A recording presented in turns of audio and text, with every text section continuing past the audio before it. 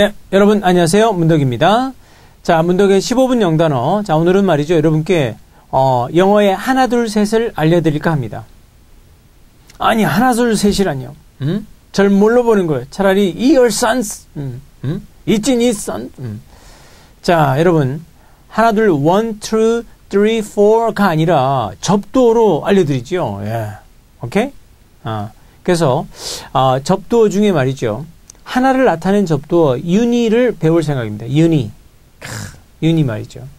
만약 혹시 여러분 여자친구 이름이 윤이거든. 야, 이건 정말 어, 여러분 아, 뭐랄까? 행운이신 겁니다. 오늘 배운 걸 바로 이용할 수 있는 윤이 You are my uni. You are my uni lover. 무슨 말이야? 그러면 아, 윤이는 접도야. 넌 나의 하나만의 사랑이야. 오케이? 지난번에 two라는 bi 알려드렸죠. 응, bi 알려드렸고요. 이건 two고 말이죠. 어, 셋까지 알려드릴게요. 최소한 하나, 둘, 셋은 알아야지. tri. 어, tri는 보니까 초등학교 때 가지고 놀던 악기 중에 어? triangle. triangle. 어때요? 어. 아, triangle이 바로 아, 각도가 세 가지다. 사실 셋이라는 뭐 이런 음. 자, 최소한 하나, 둘, 셋은 알아야 되지 않겠습니까? uni, by, try. 오케이? 자, 그 중에서 오늘 uni를 만나겠습니다. 자, uni에서 우선 첫 번째, 여러분, uniform. 정말 한자가 있죠. 영어 단어 한자 같습니다. form, 형태. 그 다음 uni, 하나. 그러니 하나 형태인. 전혀 문제 없죠. 오케이. 자, 근데 사실 어, 그런 점에서 두 번째 똑같은이라는 의미가 먼저 나오는 것 같아요. 음, 다 똑같아. 하나 같은. 다 똑같은. 음. 어, 그래서 우리가 무엇이 무엇이 똑같을까 이럴 때 뭐, 젓가락 두 짝이 유니폼해요 이런 식으로 네. 예, 초등학교 1학년 때는 통합니다. 예, 그 이상은 안 돼요. 큰일 나고 막 어 저 사람 뭐야 막 이렇게 자 여러분 제복 이제 글쎄 어 요즘에는 뭐 중고등학교 다 교복을 입죠. 예. 쌤은 기억해 보니 중학교 때는 입고 고등학교 때는 사복을 입었던 어, 기억이 있는데요. 바로 교복이 영어로 school uniform입니다. school uniform. 왜? 다 똑같이 입는 거예요. school uniform. 이해되시죠? 음. 자, 우리 군복 military uniform. 오, 맞네요. 운동복. 여러분 축구할 때 어? 다, 당연히 옷을 맞춰 입는 거예요.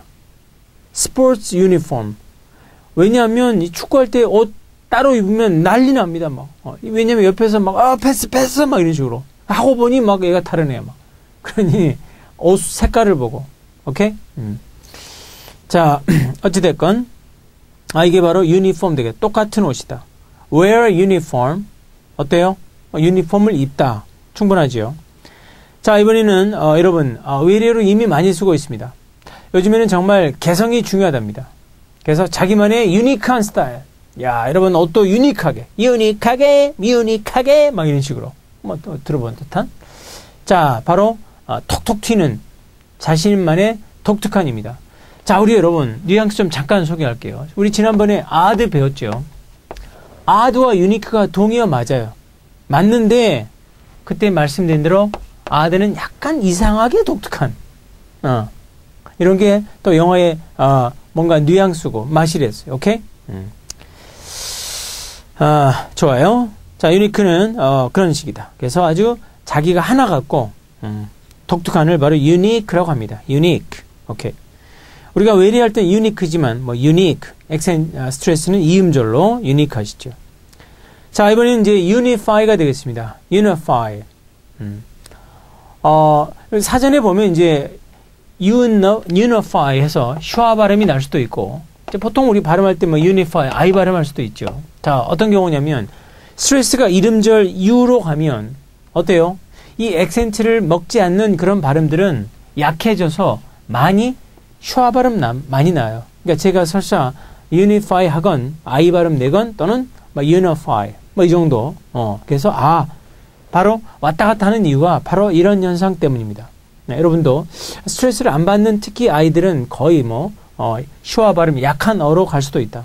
아무튼 뭐 unify 또는 뭐 unify 이 정도 하나로 만드는 거예요. 자, 이 단어는 정말 알아야 될 게 여러분 우리 남북한 지난번에 bisect 돼 있다고 했습니다.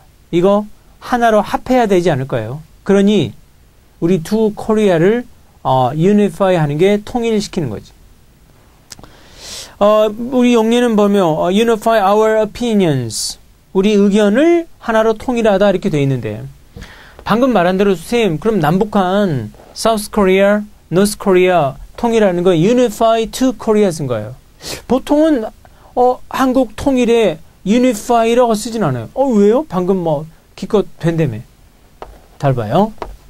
우리는 통일을 해야 됩니다 할 때는 reunify를 써주시죠. 간단하게. 그건 왜요? 아, 그거야. 우리나라는 원래 하나였다고요. 그쵸? 원래 두 가지 다 하나 되면 unify인데, 원래 하나였던, 어? 그러다가 지금, 어, 쪼개진 경우야. 그러니 보통 우리나라 통일할 때는 reunify를 쓴 겁니다. 우리는 두 한국을 통일해야 되겠습니다. 자, 이제 아주, 어, 어때요? 우리의 지상의 어떤 영어 명제, 어떤 과제를 만들죠. We should reunify our two Koreas. Okay?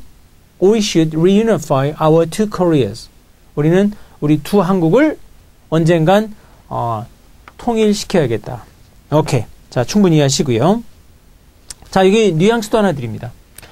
자, 저는 어, 역시 어휘를 가리키는 이유가 어찌 보면 뭐 이런 통찰력들을 여러분께 드리려고 unite 혹시 어떻게 아시죠? unite. 얘도 uni예요. 뭐 얘도 대충 뭐 어, 통일시키고 뭐 연합시키다 느낌 그죠? 결합시키다. 동의어 맞아요. unify와 어? 어 reuni 아니 뭐야? unite는 동의어 맞는데 쓰임이 상당히 다르죠. 여러분, 미국 USA United States of America 절대 Unified States of America 하지 않습니다. 어, 이제 보니 United는 말이죠. 완벽히 하나를 만드는 게 아니라 어? 두 가지가 이렇게 딱 어, 약간 붙어 있는 느낌. Unify는 아예 경계를 없애는. 그러니 쌤이 우리 한국을 통일해야 한다 할 때는 reunify 쓰면 당연한 거야. 한국 통일하는 건 저희 휴전선은 어떻지요? 이걸 아예 그냥 날려버리고 정말 어? 왔다 갔다 할 수 있게 뭐 이런 느낌 그죠? 완전한 하나. 그러니까 완전한 하나 unite는 뭐 이렇게. 음, 이해되시죠? 자, 이런 뉘앙스까지 우리가 잘 알게 되었습니다. 마지막 universe입니다. universe는 여러분 아, verse라는 어원이 이제 돌다라는 어원입니다. 얘도 되게 유명한 어원이에요. 그렇다면 하나로 도는 우주. 우주가 하나로 돈대. 왜요? 아, 예전에 여러분, 어, 지금은 태양 중심이지만 옛날엔 지구 중심 이론 들어보셨죠? 그러다 보니 지구를 중심으로 세상에 다 돌아가는, 오케이. 야, 우주가 이런 사연이 있군요. 바로 universe 되겠습니다.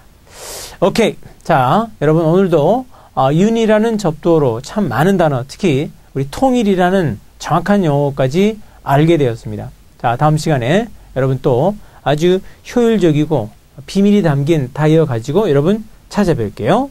수고하셨습니다.